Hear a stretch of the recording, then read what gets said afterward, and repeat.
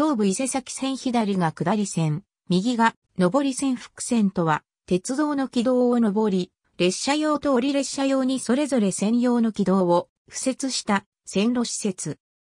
単線の運行では、上り列車と折列車を交換できるのは交換可能駅のみで、そこで対向列車を待ち合う必要があるため、設定可能なダイヤは大きく制限される。一方、複線の場合には、対向列車を待つことなく、閉塞区間の距離に応じて多数の列車を運行できる。複線であれば、対向列車の待ち時間を解消でき、ダイヤの自由度が上がるとともに、列車の運行間隔を切り詰めることもできる。また、事故や災害などでダイヤが乱れた際には、一方の列車の遅れが反対方向の列車に影響を及ぼすことがないので、運転整理も行いやすくなる。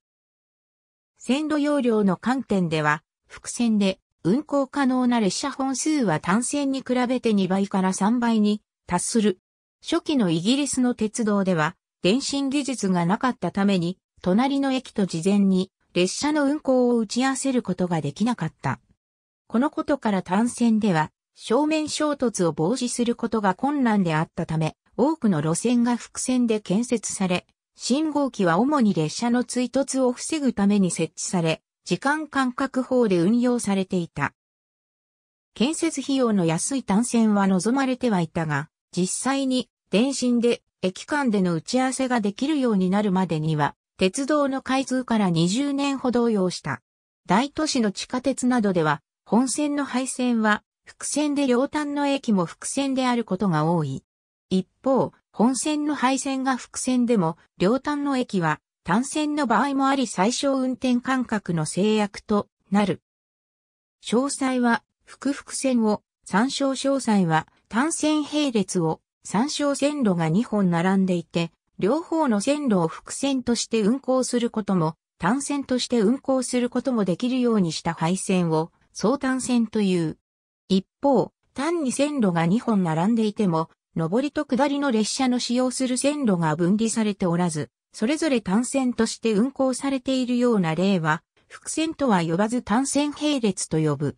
単線並列では、線路容量や高速化などの複線の持っている多くの長所はないが、路線が分岐する区間などで用いられることがある。複線として建設された区間では、その進行方向を前提として分岐器や信号機を設置しているので、そのままでは単線並列運転を行うことはできない。日本では複線は多く採用されているが、運転間隔が中密なため相単線はほとんど採用されていない。なお、宮崎県には複線区間が一切存在せず、全線単線である。また、徳島県は、佐古駅徳島駅間を除き、全線単線である。ヨーロッパでは相単線が採用されている例も多い。フランスの LGV では、数十キロメートルごとに渡り線を配置する相単線を採用している。台湾高速鉄道も欧州規格を採用しており、同様の相単線が採用されている。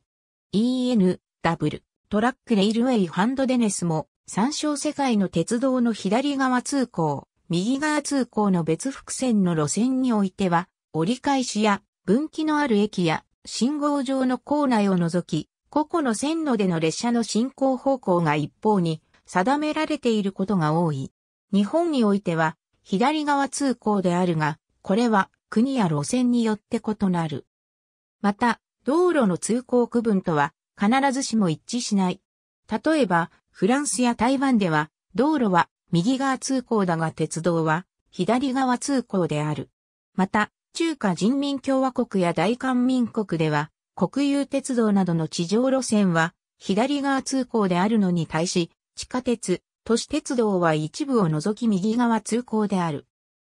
左側通行の国と右側通行の国を直通する路線では、国境付近で立体交差などにより上下線を入れ替えている。単線であった路線を複線にすることを複線化と呼ぶ。一般には単線時代の線路を複線の線路の一方に利用して、もう一本の線路を敷く形で工事をするが、場合によっては単線時代の線路を放棄して、〇〇伏線の線路を新設することもある。これは伏線化に合わせて線路の改良を行う目的などによる。もう一本の線路を既存の線路の脇に増設することを腹付け線造と呼ぶ。一方、一本の線路を増設する場合でも、土地の買収の問題や線路改良の意図などから、駅構内のみ上下線を並べて、駅間では既存の線路とは離れた場所に線路を敷設する場合があり、このような例を別線線造と呼ぶ。別線線造となっている区間としては、などの例がある。伏線化に際して同時に急勾配区間の改良を行う例がある。急勾配の既存路線を放棄して、勾配の緩い伏線の新線を建設する場合は、伏線別線線像と呼ぶ。